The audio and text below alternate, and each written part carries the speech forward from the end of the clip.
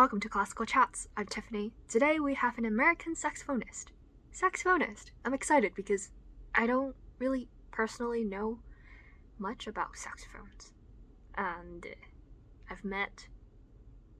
I've realized this during the podcast that I've met one saxophonist before, but anyway, it's exciting for me to talk to Eric Zheng because I'm very curious about the saxophone, also about classical saxophone, because usually we associate saxophones, I think, with jazz music, but he is a classical saxophonist. He's also part of a saxophone quartet, Group 2, and so we're going to learn about his journey, learn about what it's like to be a classical saxophonist.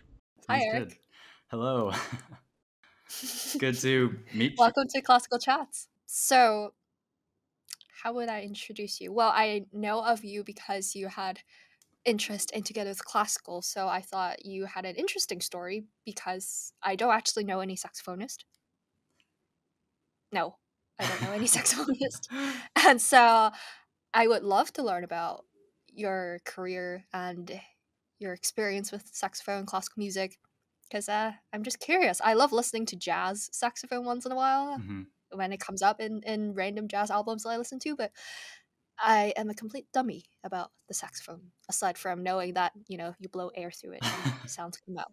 So, with that being said, can you please introduce yourself and tell us how your journey with classical music started, which is for those who are listening multiple episodes by now, they know that this is the question I ask every single guest. So, yeah, absolutely. Um, first of all, thank you so much for for bringing me on here. I, it's uh, it's a really cool opportunity for me to to speak with you um, and I really appreciate the interest and everything. Um, you know, a lot of people really aren't familiar with the the concert saxophone or classical saxophone, and and to be fair, I really didn't. I do know one.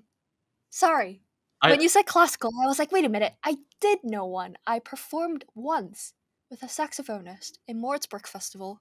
It was a Milhaud uh, something piece. I forgot the name. It was cool, but I did actually know or I play with one. So okay. I'm curious. I'm still a dummy, but anyway, who... I don't. I didn't mean to interrupt you. I just got no, excited for a second. You're you good. said um, concert saxophonist, and I was like, wait a minute, I do know one. anyway. Yeah, I'd be. I'd be curious um, as to you know who we played with because it's such a small uh, world out here, and so um, yeah. But but it's it's only recently I think that there's been more activity in the sort of the this classical concert saxophone world. Um, Stephen Banks, who uh, was actually my my old uh, GA at when I was at Northwestern. Um, he is the first saxophonist to be on the Young Concert Artists roster, um, mm. and you know he's you know been playing with them, and and he teaches at Ithaca now. Um, but you know, as, as, for my my story, I suppose um, maybe shall we go back to I, I guess you know baby age. the the womb? No um I, well i mean I, I, don't know. Some people started late some people started before they were born. In terms of experiencing classical music like myself i heard classical music and also many genres of music before i was conscious. So yeah, yeah. I, i'm just curious to know from the very beginning how it started for everyone. For sure. I um so I my my family isn't a particularly like musical family. Uh, they my parents weren't really involved with music growing up, mm. but they really wanted me to participate in it when they immigrated here to the United States. Mm-hmm. So I started classical piano lessons actually when I was around five years old, and that that got me interested at first. But then you know, over time and, and as a kid, it, it became a sort of a chore for me and my, my friends. They, they weren't listening to classical music. And um, I, I think early on, and because of uh, being an Asian American, I felt that I was starting to be boxed in by society to to be a certain type of person. Like, you know, I play piano, mm-hmm. I'm good at math, or and I'm gonna be I should be an engineer or something. And so, mm-hmm. um, you know, uh, early on, I, I knew that I, I wanted to try and change that narrative. And um, my dad actually he listens to a lot of Kenny G, and Ah. right, Classic. and now I I play so much different music from Kenny G, but um, I uh, you know I I got started on the saxophone and I quickly you know fell in love with it, um, and When did you start with the saxophone? At what age? Because it's not a usual instrument that a kid really. right it, it's it Uh, was so big at the time. yeah. Um, I started around the fifth grade, so that's when they really Mm. introduced like band instruments and things to, to kids. yeah. And uh, and I enjoyed playing with band a lot because it was a chance for me to really interact with other musicians, play together, hmm and um, I just enjoyed this novel aspect at first of, of singing through this instrument. And over time, I became more and more familiar with with the classical side, like learning repertoire. I, I got a teacher, um, and then in high school, I really became involved with my band program. There was the the concert side, of course, but also the jazz band, and I, I really got interested in jazz as well. And I wish I had had put more more time at, uh, into that.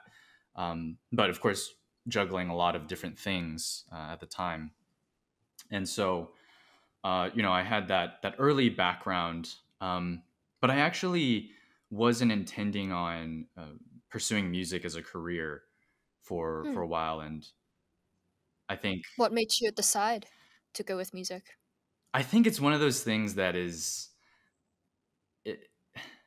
you can you kind of have to constantly decide and you you it's kind of because you can't stay away you know um so yeah. when i i actually did my undergrad in in both economics and saxophone and i was prepared to you know i was going to get there and um i was going to see if if the music thing was going to work out well or maybe would have to drop it but I, I really quickly became in love with the, the studio and the culture and i felt this uh, need to to get better for for no reason but just to get better you know and Mhm. uh, my teacher Taimur Sullivan there was a huge inspiration for me um, and many of the grad students like seeing seeing for example Stephen Banks perform and then a saxophone quartet being introduced to me I had no idea that this was a like a a type of chamber music that people pursued. And uh, you know a group of master students at the time they're called noise now um, and they're they're professional quartet. And they you know they they inspired me as well to continue pursuing this path and to find my own voice within this field.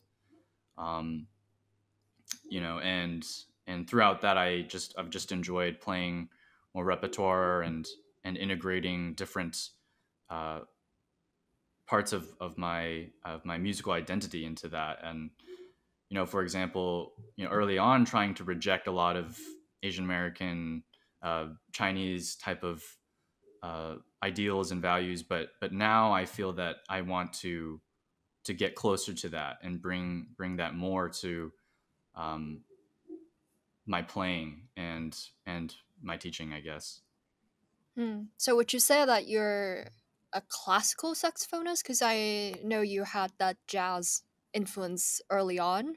So yeah. Yeah, I, I would say that.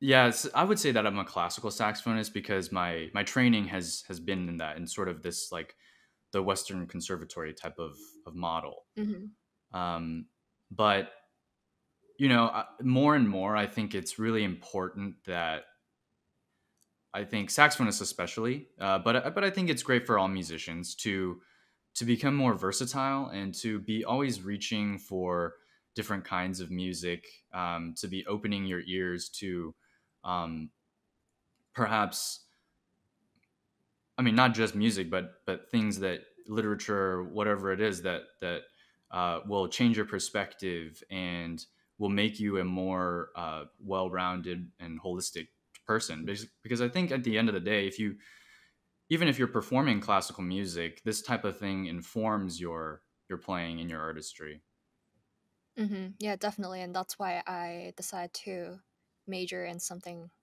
not related to music really uh, when in college, so that I could get a more well-rounded uh, view of the world and understanding. Just to, uh, yeah, I think it makes me play better. I Yeah. hope. I, I would I mean, So, you know, I would love to hear more about how philosophy has has informed your playing as well. Um, at some point. I mean, philosophy. It's uh, I think more and more nowadays. I feel like it's the skill of arguing against myself. Yes. because that is the classic thing that I and everyone else who studied philosophy had to do in essays. You know, you can't just, um, I mean, you're trying to argue for a certain point of view, but you always have to uh, think of a dialectic way of approaching your argument. So you have to show the different sides and different holes in your argument. And if you have too many holes, then it, you're not going to have a good essay and it's not a good piece of writing at all. So Yeah, that's so uh, not to say that I like to get into arguments with people, but just because I have to constantly think in many different perspectives, and Yeah. uh, I think that has helped a lot. And that's also kind of why I had this idea to do classical chats to get to know different people because you know we would not have connected otherwise if it weren't for classical music and i Yeah. know that it is so powerful it can connect me to gamers or to saxophonists or to um, i don't know lots of engineers i've learned Ah, so yes. uh, it's just amazing to connect with many diverse uh, opinions and get to know about them so Yeah. saxophone. Um i really don't know anything. How can you describe the classical saxophone repertoire for those who have never heard of um, classical saxophone? Because you know classical piano everyone knows bach mozart beethoven. They can immediately think of composers and kind of the sound that it would be. But uh yeah what's it like for classical saxophone? Yeah, that's a that's a really uh, poignant question because you know the this it's a lot of transcriptions right transcriptions for sure. Uh, yeah the the saxophone was um, invented, I believe, in 1846, and I only know this because it's uh, in my uh, it's part of my Wi-Fi password. So, uh, but anyway, now the entire world knows yeah, there you go. Um, I, uh, yeah. Anyway, so that so its history compared to the rest of the instruments is just so young.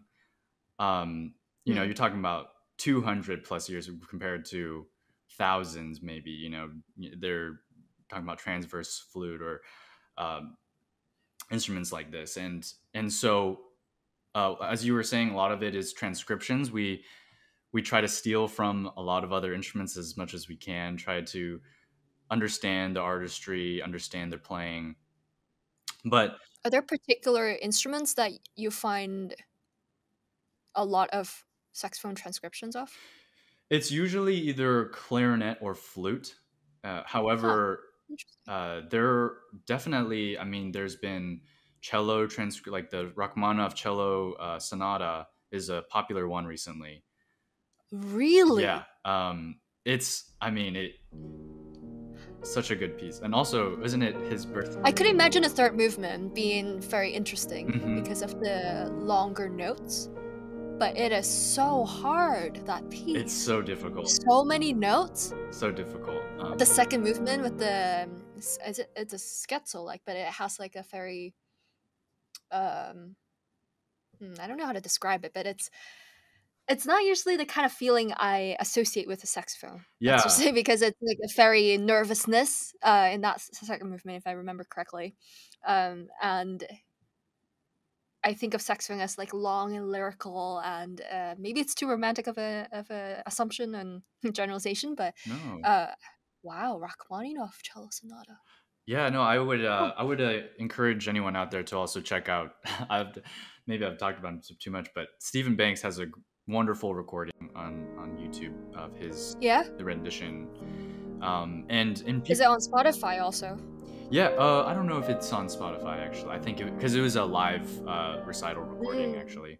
You know something that is is definitely out of place, but uh, I have recently decided to ask every guest to curate a playlist of uh, pieces that you would like others to listen to. So if you can do that, uh, I will link it somewhere in the Spotify, and we will, yeah, sure. feature a curated playlist uh, by each guest Is it uh interesting. does it have to be, you know, saxophone music or I mean No, it couldn't be anything. I mean, I think having a few saxophone pieces in there would be Yeah, yeah. very uh, relevant, but also any yeah piece of music, classical and or neoclassical, but you know, kind of uh, what you think others would enjoy and should listen to. Yeah, for uh, That would be great. absolutely.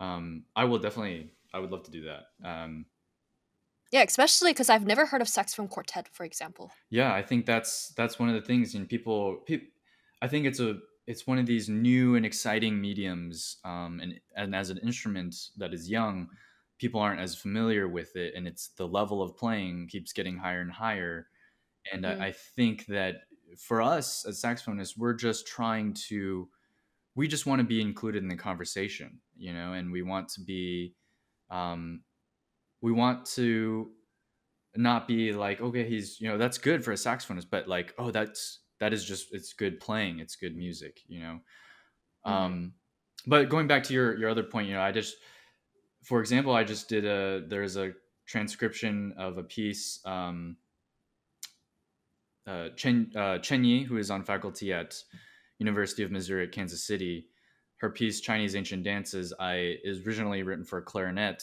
um, and then she did a transcription for soprano saxophone, and I performed that on my recital. And and the fantastic thing about saxophone is that I I would rehearse this piece and I could send it to her, and sh- I could get the comments directly from the composer, you know, Mm. and it's it's fantastic to be able to work with composers directly and who are who are living and and breathing with their music um, to make the, make what their vision is come alive um, Yeah, and in this It's day and age you can send it uh, anywhere really yeah, and it's not something that we can do with uh, composers of the past, unfortunately, with the classical canon of music.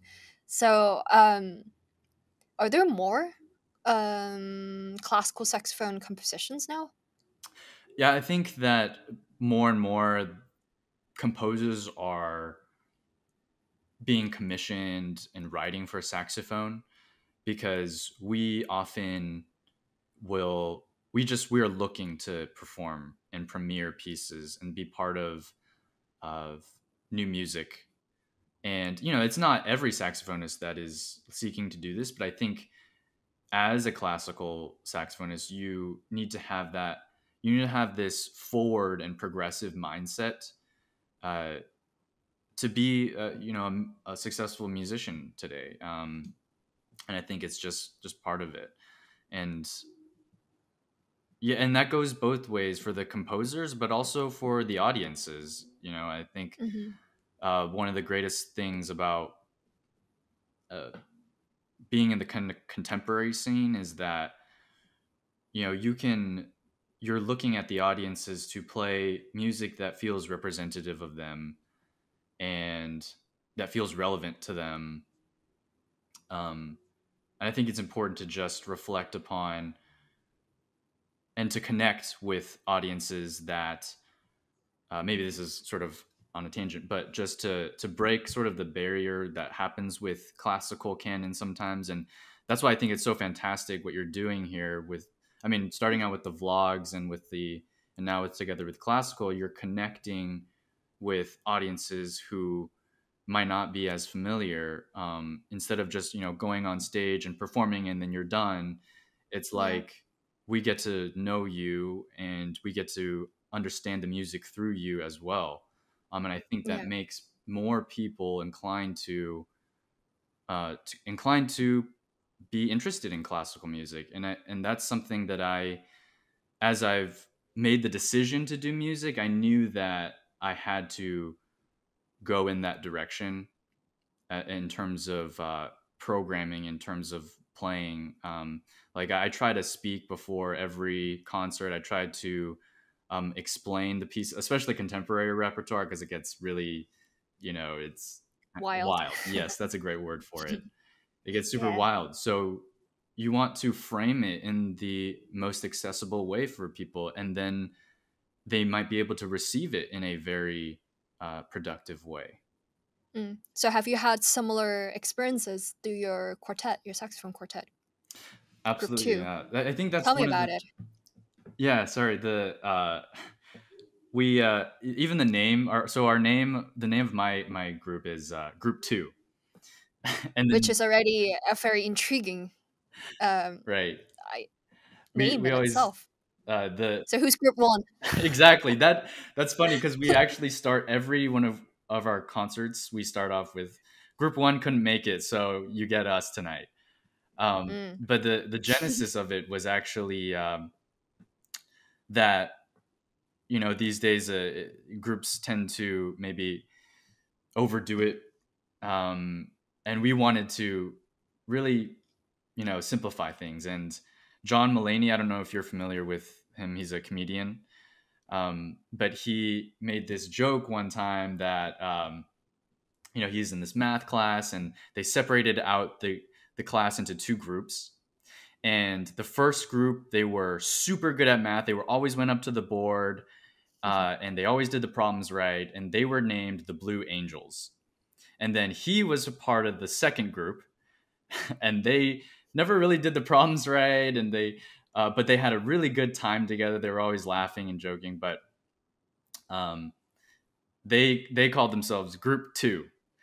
And so we sort of took that that concept and and just um, wanted to go after that because you know as much as we we take playing the music as seriously as possible but we also don't take us very seriously because we know that you know at the end of the day we're here to perform we're here to connect. And um, if we become too disconnected with the other uh, with the audience and maybe um, too lofty that we lose that connection with the music making. And so uh, that's that's maybe the, the sort of the, the origins of of the name It's very interesting story, and uh, yeah, it's uh, always fun to see the tongue in cheek and the behind the scenes story of music making. So, so uh, how long have you been playing in the saxophone quartet? Because you're also teaching, aren't you? Yeah, I, I teach at uh, Albion College, but I, I've been playing with this quartet when I started my master's. So that was about uh, a year and a half ago. No, that Mm. was in uh, 2019. Um, So quite new, actually. yeah, so we've we've uh, we knew immediately that we wanted to be a very very serious or not serious. We wanted to be uh, um, we wanted to go after it as a group Or yeah, and um, you know so we quickly started rehearsing a lot um, you know un- unfortunately that year we the we we couldn't um, do a lot more because of covid but you know now uh, one of the things i mean we're uh, we're one of the semifinalists for the Fischoff competition oh, congratulations! Thank you. Um, and so, you know, we've been just preparing for those kinds of things, and um, hopefully, we'll continue to to play into the future. Yeah, that reminds me. Any tip since you come from a teaching position, which means you have the experience and uh, the maturity to answer a question like this for those who compete? What is your advice for them, especially for students? Because I think a lot of them are students That- who listen to my podcast or uh, watch my videos. Yeah, that's a really relevant question. I I think I can answer this from both a student and a and a teacher perspective because Perfect. I, you know, I'm currently in sort of this competition world, but I'm also in the teaching world. So competitions can become very damaging without the right perspective. I think Mm. um, in the past for me, I I think that as long as you understand that it's it's meant to to push yourself to the best of your ability and to it's almost a kick in the butt to get your repertoire get your artistry together. You know you have to make these decisions these um, you have to make uh, this commitment. And i think that's a wonderful part of it. But at the end of the day that's an external motivator.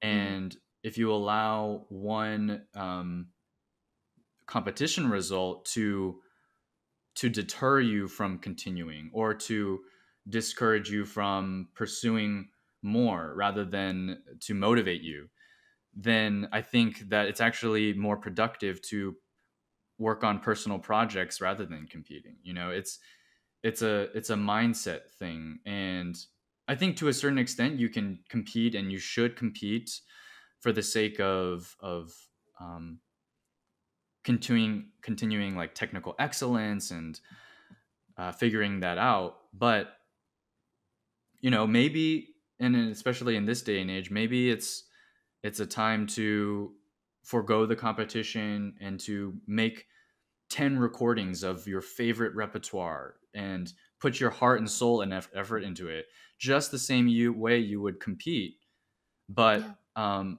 now you have this product you have this physical recording and um, uh, that you can share with people mm-hmm. and you know that you you put in the same amount of effort and i think what i've learned from being in the competition circuit is that is to approach the music making part of it and the learning and the process part with the utmost level of respect and humility to the music mm-hmm. and leaving the competition circuit um then it, it's kind of more of like i can take that approach and and do it for any future projects.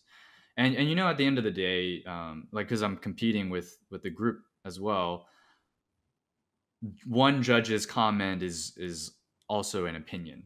And one day you know as i get older hopefully i'll also be a judge for some other competitions but it will also only be my opinion. Um, and i think you know younger students forget that while music while there are certain objective qualities of music um, it is still a very personable personal experience and, and subjective and everyone does listen to and experience music in different ways. Yeah. So how do you envision the future for concert saxophone community how they would experience the music yeah um you know i would just encourage i and i think it is moving in this direction and is that um you know the concert saxophone community is hopefully it, it can be sometimes of a, a bubble. Um, there's a so the the organization um, North American Saxophone Alliance. It's NASA for short. we call it Space Camp. Um, but we, you know, we go to these conferences and we get to meet all sorts of different kinds of saxophonists. It's wonderful. Um, mm. But the one limiting part of that is is that we then become um, sort of isolated and we become maybe in a bubble, like I said. And so yeah. I would just encourage uh, the community to continue to reach out to other musical communities and uh, other instruments, other audiences, um, making making broadening the music. Um, and I think it's fantastic what what concert saxophone has been doing. Um, not to, not to you know diminish what has been happening, uh, but I but I certainly think there is room to grow. It, I certainly think that um, our with all these premieres and all this new music that we're doing, we can we can not only like play it for the saxophone community, but we should try and get this out to the uh, larger uh, audiences as a whole. Right, because I think you also mentioned that you really care about diversifying the programming of music and to widen that experience as well, right? Yeah, I, I think um, you know this is sort of going back to the what I had mentioned earlier. People want to experience music that feels representative of them, that they can identify with, that they can understand and um, feel moved by. And when and and actually, I think some of uh, this, uh, I think Nathan, uh, violinist, I, was I was watching that chat, and mm-hmm. a lot of what he said re- uh, resonated yeah. with me in in terms of in terms of the programming. Um, and and uh, Yeah. and I would agree with a lot of what he said in terms of like we have we should program in in reflection of society and um I think that the the classical canon is wonderful it's great um but there is room there's room for more um, diversity in it and more representation and to speak from an authentic voice we should encourage um, uh, people to to approach programming that way. And I, and I think the other part of that is um, you know we always talk about how classical music can sometimes be maybe uh, not accessible to people. And if we if we do it this way i think more people will be inclined to be interested. So maybe what gets them interested is is a piece is a newer uh, is a different you know programmed piece but then they keep digging and they're like oh wait like now i can go to some beethoven and I, maybe it sounds different to me or maybe i go to some rachmaninoff and it's like okay you know I, i'm starting to get what this whole classical thing is about now um, so Mhm. it's just about starting that spark for people Right. Yeah, that's a good point. I'm very curious to see and hear what uh, pieces of music you would curate in the playlist. I'm really curious. oh no no not too much pressure because maybe it's some No. really out there stuff but no I, I i enjoy i think my tastes tend to they go one way and then they go another but i i think it's just because i you know i really i when someone sends me something i i really like try to uh, get into it you know i i definitely didn't know what saxophone quartet could do before i um was more introduced to it in college. And and my my professor Taimur Sullivan he was he's a part of this of the Prism saxophone quartet which is the sort of the premier uh, quartet with commissioning and everything. Um, Mm. and I was like okay wow there's like so much possible. Um, you know and one of my one of the things my group my group has done past year is just more transcriptions and we one of the uh, pieces was the Ravel string quartet. Uh, we we played and recorded the first movement, as well as um, uh, Florence Price's um, Adoration, which was actually writ- written for for organ as first. Mm. Um, but there are just so many. I think the saxophone is unique in that way because it's so versatile.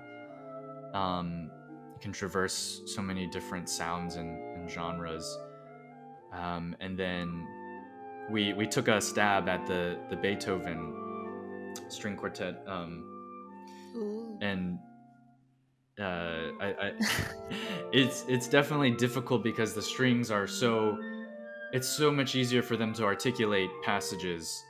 Um, And for us, we're we're over here tonguing and double tonguing, and, and so Yeah. trying to approach the music making from a point of ease like that is is Mhm. such a challenge for us but we we really enjoy doing that Wow. Beethoven string quartet by saxophones. I'm just trying to picture that sonically.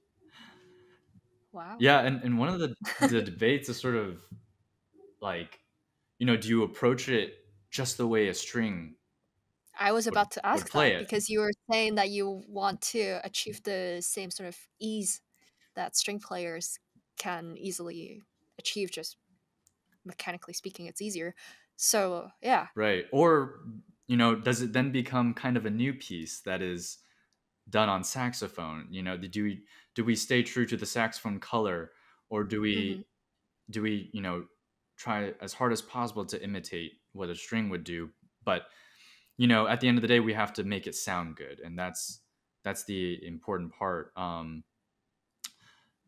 like the other uh, the the other debate comes in with we've uh recently also played the um uh, i think it's bach italian uh Tank italian concerto? concerto yeah the third movement we we did that for uh, the nasa competition That is so hard, even for the piano, the fingers to articulate every single.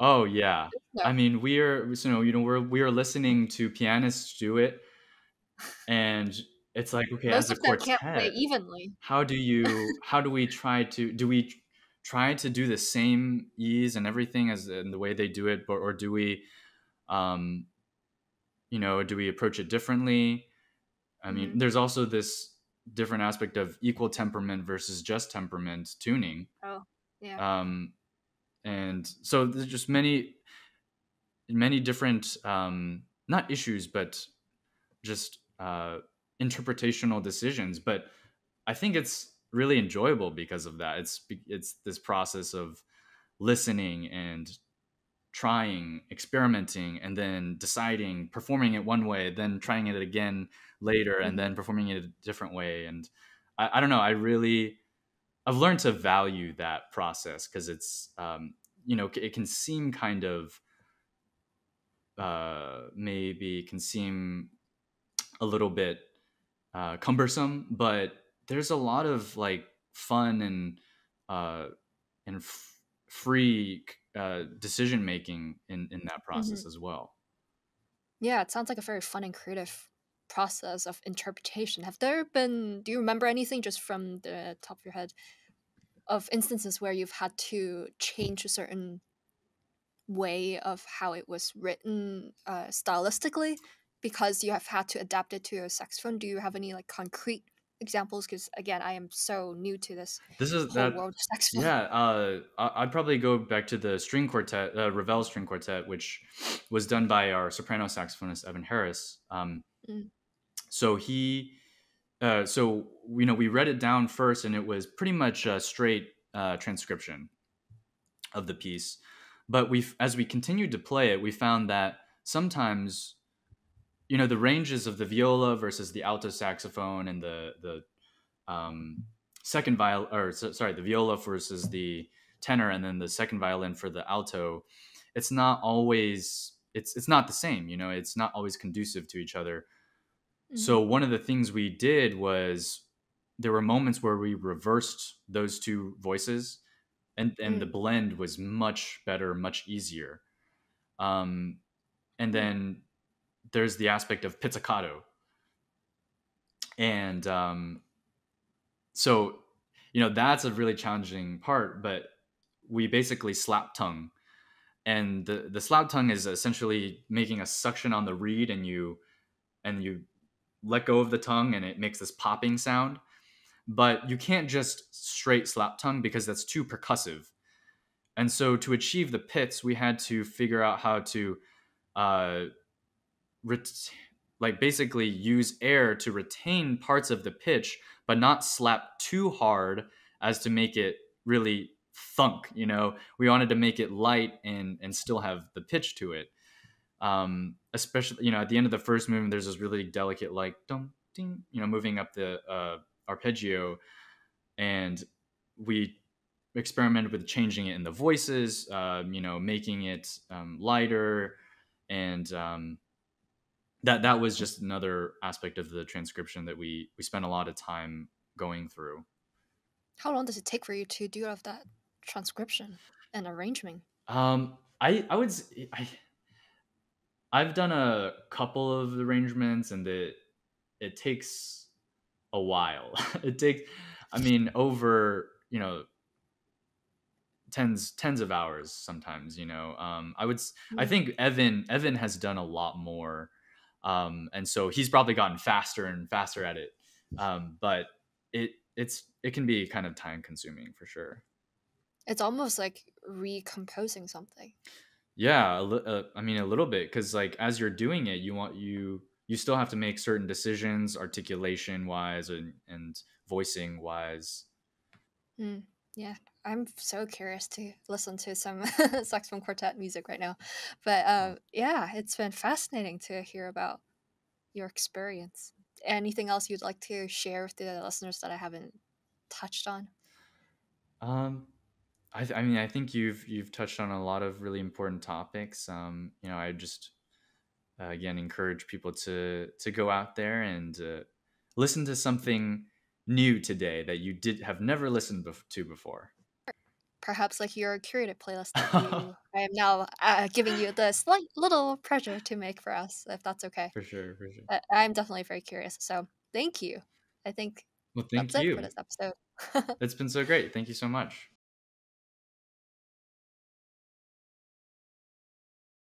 There is the soprano saxophone, and then there's like sopranino, which becomes like you know it's. Sorry, the screen is okay. Like you know, it's maybe like this big. Ah, Um, but I will show you the soprano saxophone. yeah, please do. Ooh, I'm excited. This is and it, this is why uh, people confuse this with a golden clarinet. But oh wow. yeah, so this is the soprano saxophone. So then the I don't I don't know even uh, what you call the the The neck. part the part where the sound comes out. Oh, the bell. Yes. The bell, yes, the bell. It's not even curved up. No, no. There, there are certain kinds that do curve up, but this typically this one just like a we call it the devil stick How come? because it's just notoriously difficult to to be in tune with. Ah, But, so but it's I- so much smaller. So did you start out with this as a kid, or do you start with the bigger ones? um, you start you definitely move on to this after you've done alto, Ah, and so that's the that's the um, usually the beginner one. There's like a student model that you then you can upgrade, and it's not like different size. It's just like it's there's more buttons to press. Um, ah okay, that makes sense because your Yeah, hands are probably tiny back then. yeah, this one is, uh, but it's still like compared com- on on a ten year old, it, it looks it looks big. you know? yeah, but at Um, least it has fewer buttons. I guess how many buttons, as opposed to the adult sized or the normal ones? Um, I would say it's so. I'm not sure how to because there's so many that there's the there's usually the six that um are in the front, but the the one the student models typically do not have one of these, which is the F sharp key. Mm. Um, it's basically allows you to play into higher register. Mm. Um, and then there is uh, the tenor saxophone. So the tenor saxophone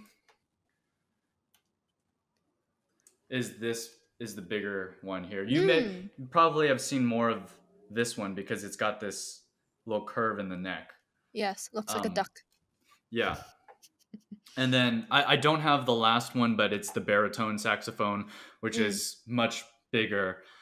Um, and it actually goes even bigger than that. There's like a bass saxophone Yeah. and two backs. Um, so, So then, do all saxophonists usually have different kinds? you know, usually I think nowadays people, it's it's important to learn uh, to to double uh, or double to Oh. bit, but to be to be able to play auxiliary horns. and um, so typically it'll at least be alto and soprano, um, sometimes tenor, um, and and then baritone as well. But um, rarely do you see people going beyond that. Thank you very much for listening. If you would like to know more about Together with Classical and our charity efforts or support us, please go to our website www.togetherwithclassical.org or follow us on social media. Subscribe to our YouTube for more episodes of Classical Chats or follow us on our podcast, whichever platform you choose.